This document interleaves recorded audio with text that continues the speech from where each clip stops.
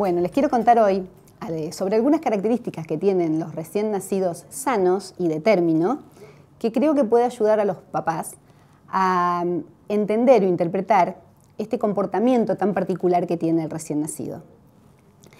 Eh, el recién nacido humano es de los, de bebés de la naturaleza que nacen eh, muy indefensos, tremendamente dependientes y con un alto grado de inmadurez en todos sus sistemas.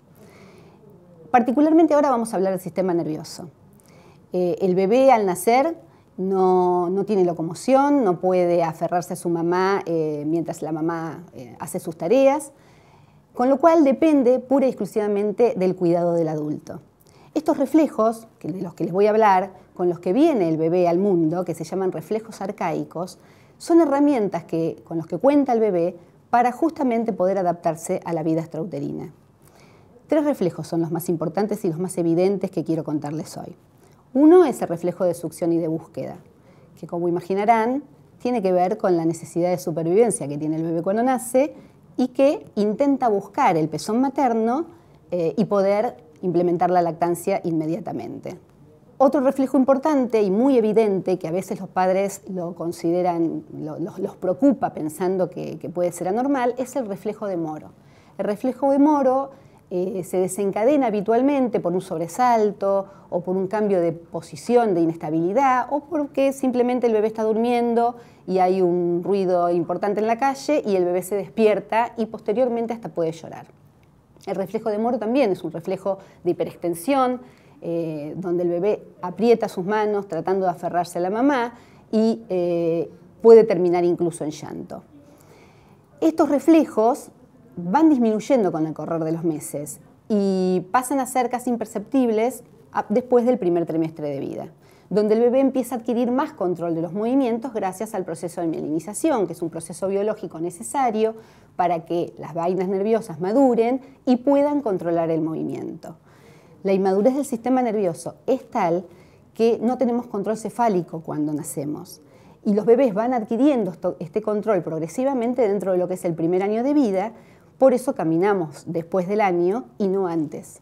Con lo cual ningún otro, otro ser de la naturaleza tiene tanta indefensión, porque todos pueden seguir a su mamá, si pueden seguir eh, a los adultos que los, deben cuidar, eh, o aferrarse y, y ir en busca de los padres y mantener el contacto. Es importante cómo nos encontramos como adultos cuando cuidamos un bebé porque este sostén corporal que le hacemos, que le servimos de auxiliar en su sostén, eh, le da al bebé seguridad cuando está, hecho está realizado en buenas condiciones.